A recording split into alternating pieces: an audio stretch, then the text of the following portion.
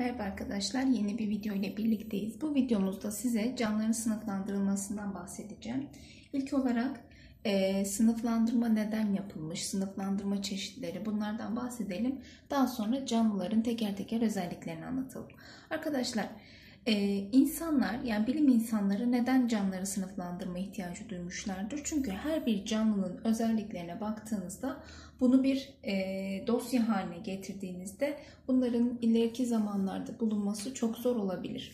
Bu yüzden de canlıların ortak özelliklerine bakılmış, işte benzer yönleri, protein benzerliği olabilir, başka DNA benzerliği olabilir. Bu gibi özelliklerine bakılarak bir sınıflandırma yapılmış. Tabi ilk zamanlarda sınıflandırma ihtiyacı hissedildiğinde farklı bir sınıflandırma vardı. Yapay sınıflandırma dediğimiz bir sınıflandırma vardı.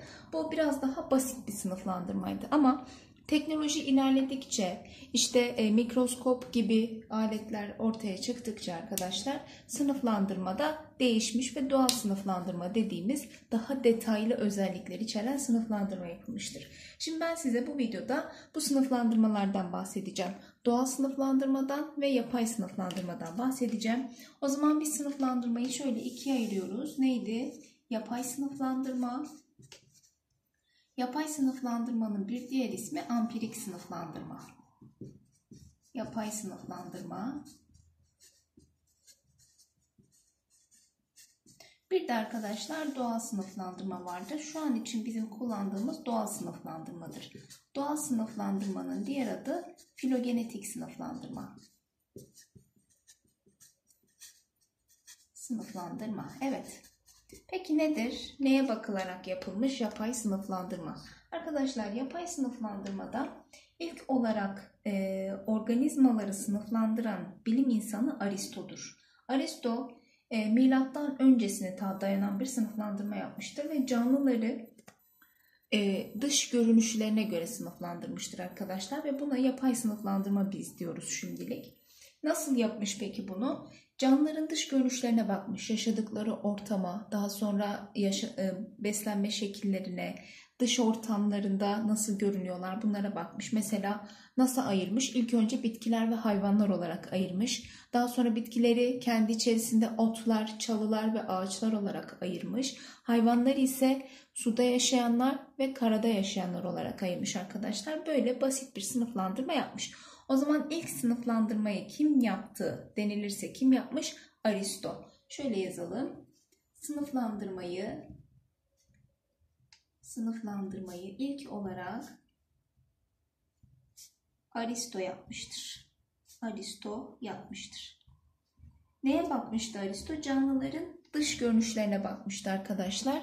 Yaşadıkları ortama, dış görünüşlerine bakarak sınıflandırmayı yapmıştır. O zaman şöyle diyelim canlıları dış görünüşlerine göre göre sınıflandırmıştır. Peki bu dış görünüş dediğimiz ne? Hani dedik ya bitkileri otlar, çalılar, ağaçlar olarak hayvanları da suda ve karada yaşayanlar olarak ayırmış demiştik. Arkadaşlar bu şekilde yazalım o zaman. Canlıları bitkiler, ve hayvanlar olarak olarak ayırmıştır. Bitkileri bitkileri otlar, çalılar, ağaçlar olarak ağaçlar olarak hayvanları suda ve karada yaşayanlar olarak karada yaşayanlar olarak sınıflandırmıştır. Şimdi dikkat ettiyseniz bitkileri dış görünüşüne göre sınıflandırıyor, hayvanları ise yaşadıkları ortama göre sınıflandırıyor. Arkadaşlar Aristo bu sınıflandırmayı yaparken analog organ dediğimiz bir organa bakmıştır. Nasıl? Analog organ nedir? Kökenleri farklı, görevleri aynı olan organlar. Yani diyor ki ben dış görünüşüne bakıyorum. Mesela örnek veriyorum. Kelebeğin kanadıyla kuşun kanadı.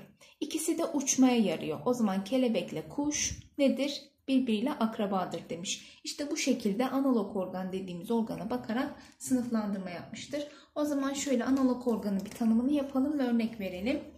Analog organ. Neymiş analog organ? Kökenleri farklı, görevleri aynı olan organlar. Kökenleri farklı, görevleri aynı. Görevleri aynı organlar. Örnek verelim arkadaşlar. Kuş kanadı ile kuş kanadı, kelebek kanadı. Şimdi baktığınız zaman evet doğru ikisi de uçmaya yarıyor veya sinek kanatla yazabiliriz buraya. İkisi de uçmaya yarıyor. Ama kuş bir omurgalı hayvandır. Kelebek omurgasız hayvandır. Yani tamamıyla akrabalık yoktur bunlarda. E, o yüzden de ileride hangi sınıflandırma ortaya çıkıyor? Doğal sınıflandırma çıkıyor. Şimdi doğal sınıflandırmadan bahsedelim. Arkadaşlar doğal sınıflandırma bir diğer adıyla filogenetik sınıflandırma. Bu da Aristo'dan yaklaşık olarak 2000 yıl sonra ortaya çıkıyor. Yani milattan sonralara dayanıyor arkadaşlar. Linne dediğimiz bilim insanı e, canlıları homolog organlarına göre sınıflandırmıştır. Nedir homolog organ? Analoğun tam tersi. Kökenleri aynı, görevleri arkadaşlar farklı olan ya da aynı da olabilir görevleri organlardır. Homolog organ. O zaman şöyle diyelim. Linne doğal sınıflandırmayı bulmuştur. Doğal sınıflandırmayı bulmuştur. Peki nasıl yapıyor arkadaşlar bu sınıflandırmayı? Doğal sınıfla, sınıflandırmada e, baktığı özellikler neler? Şöyle diyelim canlıların canlıların nelerine bakıyor? Bakın gen benzerliğine bakıyor. Gen benzerliği. Daha sonra protein benzerliği, protein benzerliği. Daha sonra arkadaşlar DNA benzerliği. DNA benzerliği gibi birçok özelliğine bakarak mesela embriyonik benzerlik de olabilir. Embriyonik dediğimiz anne karnındaki veya işte e, yavruluk dönemindeki durumlarıdır embriyonik benzerlik. DNA benzerliğine bakılarak bakarak sınıflandırmıştır. Bakarak sınıflandırmıştır. Evet, ee, ne dedik? Homolog organa bakıyor dedik arkadaşlar. Hemen homolog organ yazıyoruz. Homolog organ. Arkadaşlar homolog organ kökenleri aynı, görevleri farklı olan organlar. Kökenleri aynı, görevleri